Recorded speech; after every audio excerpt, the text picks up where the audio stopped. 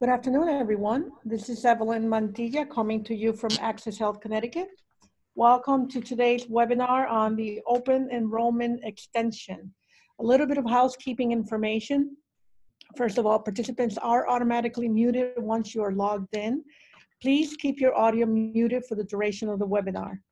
Questions will be reserved for the end of the webinar. Type any questions you may have into your chat box, which is located in the control panel and the presenter or special guest will answer the question.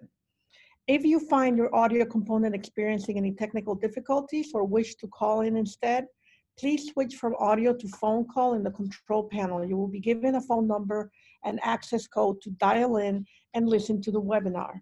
And I would like to add one more piece in case anyone is experiencing this. If for some reason you are not able to see the full screen of our presentation, all you need to do is go to view options and click on fit to windows. Again, if you cannot see the full screen, uh, go to view options and then click on fit to window. So with that, we'd like to start today's webinar. Thank you for joining us. Uh, on behalf of Access Health Connecticut, we really appreciate you taking the time to be part of this conversation. Today, we're going to talk about the open enrollment extension and our presenter is going to be Deb Eastman, who is the enrollment manager here at Access Health Connecticut. Uh, so Deb, let me introduce you and get right into it. So welcome, Deb. Thank you, Evelyn, and good afternoon, CACs and brokers. We're going to talk all about open enrollment and what to do in the HIX system, and then some of the pieces for um, our fairs and also our navigator sites. So the open enrollment extension is now December 16, 2019 through January 15, 2020. And what is the impact to our consumers? So it means we have more time to shop. The consumer has more time to shop, to switch plans in 2020.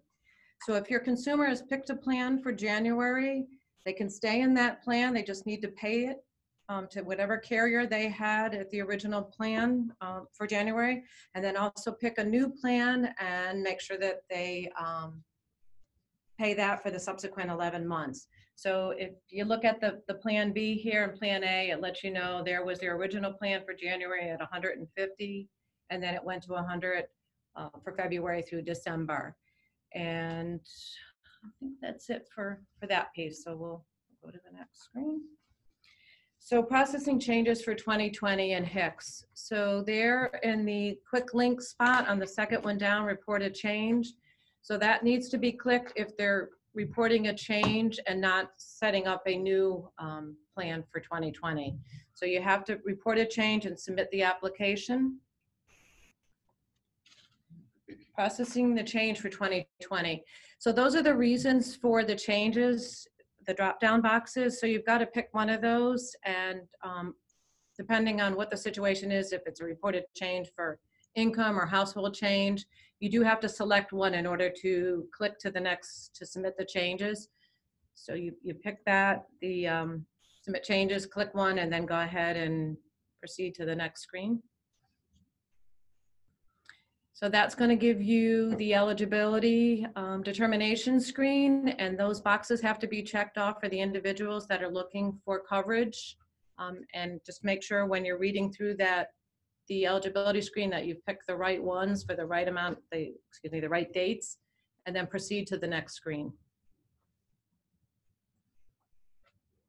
So the enrollment disclaimers, they will be on that the subsequent screen after you pick the eligibility and um, the agents would be reading those over the phone, but then make sure that the consumer understands all the disclaimers.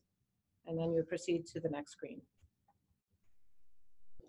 So there in that box underneath the, the plan that they have chosen, there's a box and you would need to unclick that because that, that's telling them that they, they need to pick a different plan for the um, 2020 QHP plans.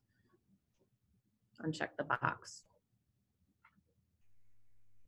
Okay, so there again, you have to make sure that they're reading the disclaimer box and they're confirming it with a check mark in order to proceed.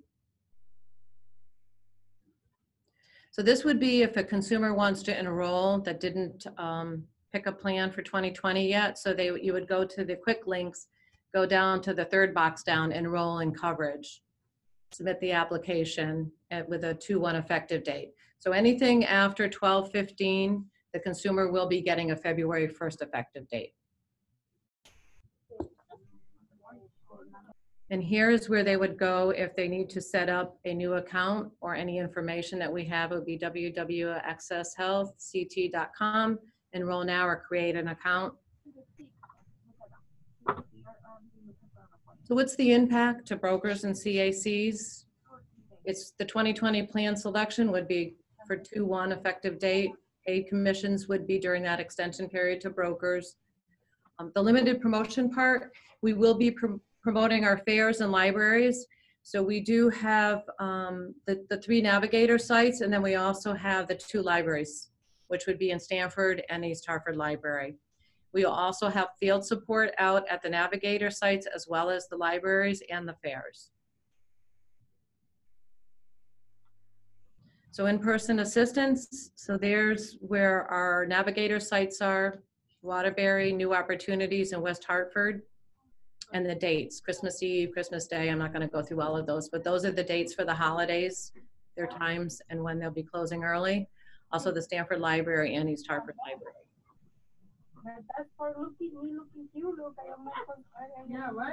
So in-person assistant, here's our enrollment fair schedule. Uh, We do have one uh, tonight. It's in Bristol, at the Bristol Library, 1219, and then all the subsequent other fairs that are going to be going on. And I do believe that the majority of the fairs, uh, we have the support that we need from the brokers. Um, We'll be confirming that as the the fairs roll out. Call center hours, so we listed them, uh, it's a little change from what was prior, uh, as of 12/16, it's 8 to 6. And they will, will be closing early for Christmas Eve, and same with New Year's Eve. And then also, there's a couple Saturdays that they'll be open, um, and those are the same Saturdays that our fairs are going on. And then also, on the 15th of January, the last day of open enrollment will be open 8 to 8 at the call center. Any questions? Thank you, Deb. Um, Now, we do have a couple of questions that were submitted ahead of time, and I'd be happy to review them for your answers. Um, One that came through early was, uh, the question is, will all applications from this point have the 2/1/2020 start date? Yes. Anything after 12/16 would have a 2/1 effective date. Terrific, and I would imagine it's going to be important for everyone to let the consumer know and remind them that their, their coverage Yes. begins then. Okay, terrific. When will we be assigned enrollment centers and fairs to work? This must be from brokers. So that information went out with our communication on Monday, letting um, the community partners know that we had an extension. We had invites to the fairs, and then also there, there was an invite link to the um, libraries as well as the um, Navigator site. So that's, that's gone out. Terrific. Um, Someone shares with us that uh, one of the main issues that they uh, deal with applicants, when applicants call them, is that they've been given their application ID number, they should be given their username and temporary password. Uh, The person asking the question says, I know in some cases they do not have one, but in most cases they do. The applicant then has to call back Access Health Connecticut to get that info. I can speak to that. So we have done um, several different training and huddles at the call center so that the agents know they are to provide the user ID and the password.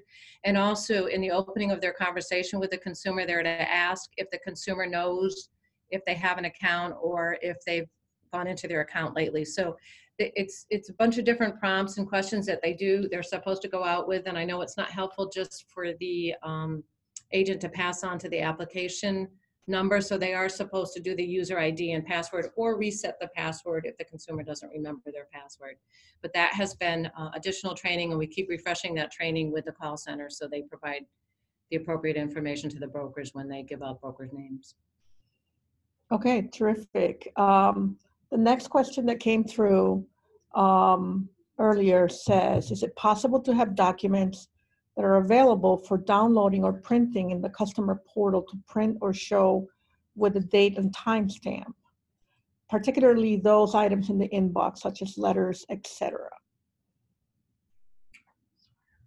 Hmm. So they're, they're looking for when they send, I'm trying to make sure I understand the question. So Sure. they're looking that when they send their documents that it gets time stamped as it comes in? It looks like it. Documents that are available for downloading or printing in the customer portal. Okay, Yes, yeah. yeah, I'm gonna have to take that one back because I'm not Sure. sure exactly what that process is as far as when they indicate it, it came in and the date it came in. So mhm, I, I'm gonna have to further research that one. mhm. Very good. All right, Shelley's got, s- yeah, Shelley, Hi, everyone. This is Shelly. So what I can offer is that if you upload something directly to your account, it does provide us timestamp at the time of upload. But if you're having to mail it in, it's hard to track the exact date our scanning center may have received it. So if that's what you're worried about, we may not have a timestamp associated with that with the mailer, but with an upload through the account, there is a timestamp associated with that action. Okay, terrific. Thank you, Shelley. Thank you, I really appreciate it. Um, I see that we have a few questions that have been submitted through the chat box. And um, I'd like to look them through for a moment. Um,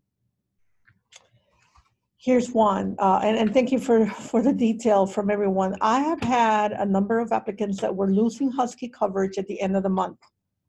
After they talked to Access Health Connecticut and called me to help them pick a plan, when I clicked on enroll coverage, it tells me they qualify but need to enroll between 12/31/19 and 2/29/20. It does not allow them to pick a plan now. In the past, when this has happened, they end up being effective the next day. Why do they have to wait until the last day of the month? It has probably happened six or seven times during this past year. So this is Shelly again. We actually answered this in the chat box, but just for everyone's knowledge, this is a system glitch that happens at times. It's not all the time. As you can see in his example, six or seven times during the past year.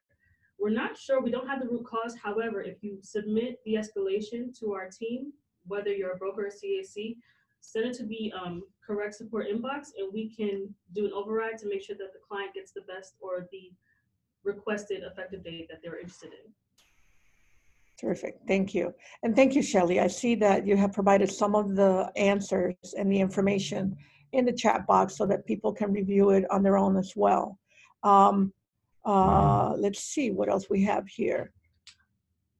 For a consumer that is already enrolled in the 2020 plan but wants to change plans, what is the change box that should be checked?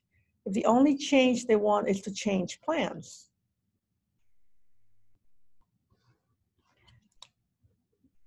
I, I, was wondering the same, because it doesn't really speak to the extension. So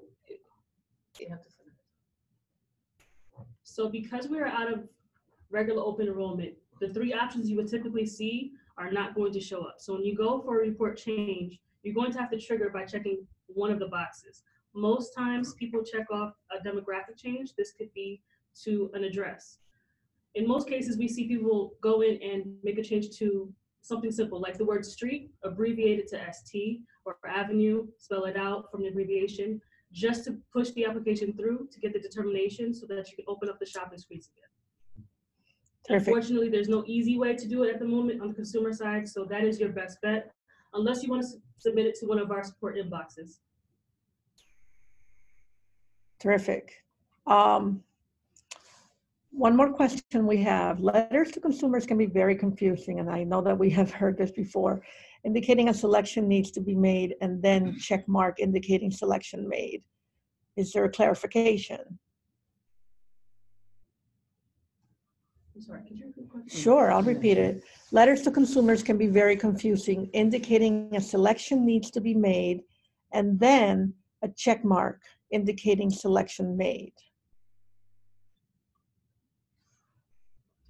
I Yeah. think, I think generally what it may be saying is if we're looking for additional information, it'll give options of what we're still looking for. But I don't believe there's a checkbox that they would check off anything. but sometimes it's hard to understand which piece of information they're still looking for. But that's, I, I'm not sure of any checkbox, so if, if, if we clarity on what, what actual form they're talking, or what number on the form, maybe we could look into it a little bit further. So if you want to submit a question or a concern about a particular notice, just so that we can follow the conversation, there is a notice number associated with everything that we send out. It's four digits at the bottom, bottom left corner of all the, of all the communications that we send out. You might see 1301, 1304, 1302. If you grab that and then submit your concerns to uh, our, e- our team via email, we can give you a better explanation at wh- about what you're looking at. It's hard to speak to it if we don't know exactly the notice you're, you're referring to. That makes sense. Okay, thank you. Thank you, Shelley. Um, we have one other question from, this one from a new broker. If we participate in one of the fairs, do we get to enroll the clients into our book of business or is it simply a volunteer exercise? So if you've attended a fair, yes, you can tangle with those consumers that you've met with at the fairs or in the navigator sites. And yes, those, those would be definitely your consumers entangled and receive commission on those. Very good. Um, I'm looking for any additional ones. When clients have missing documents requested on their inbox, is there a list of what kind of documents specifically would be considered proof?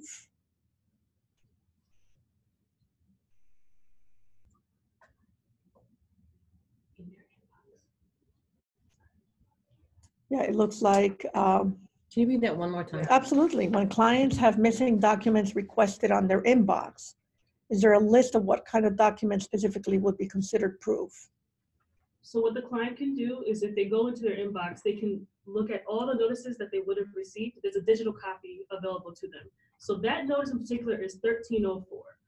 And if you open up that document, it will provide you a list of all the acceptable items for the missing documentation that's in question. So 1304 is for VCL. Great. All right. Um, I have two clients that I'm getting an error message number 3074. When I call member services, they submitted a ticket, but it's not resolved. I need to know if there's another number I can call. Do we recognize that error number? Not on the top of our heads, but the mm-hmm. best bet so that we can look at the application specifically, whether, I'm not sure if this is a broker or not. If you are a broker, please submit this issue to our inbox at AHCT, broker support at ct.gov. We'll put it in the chat box so that everyone can see it. Reference the application number and the client name, and just walk us through what happened leading up to the error code so that we can investigate it further. Again, that email address is ahct broker support at ct.gov. AHCT broker support at ct.gov. Yes. And in most cases, if you're getting an error message, screenshot or snip the error message. That also is helpful when we are doing our investigation on our side. Wonderful. All right. Um, still looking for other questions. Uh, we really appreciate your feedback and your questions along the way. Um, if we were unable to tangle due to broker or consumer portal system issues, but are able to enter our broker number on the worker portal, does it still go into their book of business? Okay, this is Shelley. Dear brokers, there are two ways to associate yourself with a client account. The formal way and the best way is to tango through the client's consumer account so that they can see you under their manage my assistance option. Now, if you're experiencing issues, the backup is to just add your name in the field towards the end of the application that says, who is assisting you today? And you put in your number there. I would advise though, if you can, and most likely you should, send that application ID, that client account information to our team so that we can make sure we close the loop and get you tangled properly. The reason being, if you simply just add your name to the application, there's a chance that you can be removed for whatever reason. So in most cases, if possible, you want to do the formal tango through the consumer portal. Okay, thank you. Thank you, Shelley. Um, my next question available here is, when we help applicants enroll outside of open enrollment, can we charge a fee since we do not receive any commission for these applicants? Yes. You have to make sure that the consumer understands that, and you also have to have a specific license to do that. But we all, I mean, we advertise for free um, help, and so we prefer that if they're a consumer through us, that you make sure that you tell them upfront that you're gonna charge a fee for special enrollment events. All right, excellent. Um, Still reviewing all of the questions. Are there any that um, I may have missed? And, okay, the next question I have says, are brokers compensated for clients who we enroll in Husky? If so, what is the compensation? No, there's no compensation for Right. Department of Social Service consumers. Yep. Got it. So the answer is no, no compensation for Husky clients. Um, I want to give everybody a quick reminder on the group chat. Can I just add to that? Sure. As I think this over a little bit. So those consumers may have someone in the household that eventually may go on a Q, QHP, or they may have a split household. So um, depending on the situation in that household, for the broker's perspective, it might be, um, it, it might, might be a business that you get down the road if those consumers convert over from um, Husky to a QHP, or there's a split household. Got it. Excellent. All right, I want to remind everyone that as you see in your chat box, we are giving you the information uh, for the email addresses to reach out to broker support inbox. Again, that one being access AHCT broker support at ct.gov. And for the CACs, the support inbox is ird.outreach at ct.gov. Um, one individual uh, who's participating asked us what was the enrollment goal for December 15 and what was actually achieved. Hmm. We may not have that information just yet. Yeah. We will put those, a link to the, the stats, the current stats for, Mhm. as of this date.